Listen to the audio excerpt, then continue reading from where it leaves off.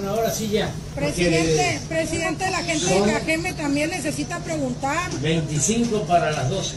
Presidente. De allá de, de la Ciudad de México. ¿Qué ondas? Pues ya se acabó la nefasta mañanera del presidente Andrés Manuel López Obrador.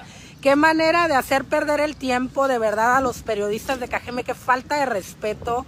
Llega uno temprano, ni un periodista de Cajeme, que viva en Cajeme, que radique en Cajeme, tuvimos la oportunidad de poderle preguntar al presidente, de verdad con todo respeto al gremio, pero vienen aquí a andarle rezando y rogando al presidente que haga su chamba. Siempre preguntan los mismos con preguntas sembradas. Me da, me da tristeza el circo que, que se hace y la pérdida de tiempo que hacen al, gremio. O sea, si vieran lo difícil, lo difícil que es que te acrediten, poder entrar. Esto ya está armadísimo, ya se sabe quién va a preguntar ¿Qué es lo que van a preguntar al presidente?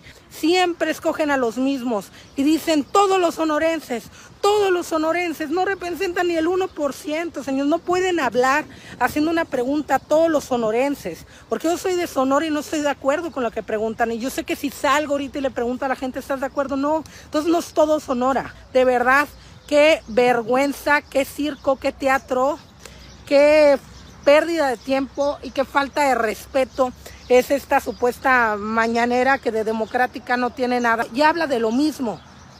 20, 30 minutos dedicándola a Loret de Mola.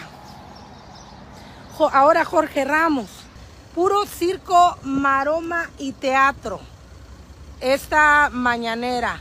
Eh, por más que, señor presidente, alguien de Cajeme me pare, alguien de Cajeme que pregunte tienen la oportunidad de poder preguntar temas que realmente la quejan a la raza y hacen perder el tiempo así, por favor. Y los mismos que vienen de México, los que siempre preguntan, con todo respeto a mis compañeros, pero no mamen, no mamen, qué pérdida de tiempo.